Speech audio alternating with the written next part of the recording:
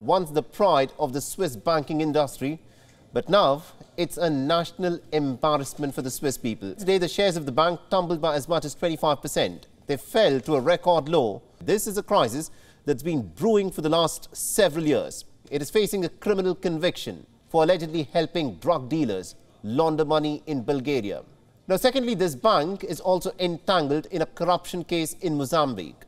Thirdly, there is a spying scandal that involves a former employee and an executive. Fourthly, Credit Suisse is also involved in a massive leak of client data to the media. The reason why banks fail taking down the lifetime savings of millions of people with them is that the greed and criminality of a few lacks auditing and poor government regulation. That is at the heart of what leads to many of these banks to acquire assets that simply are not assets anymore.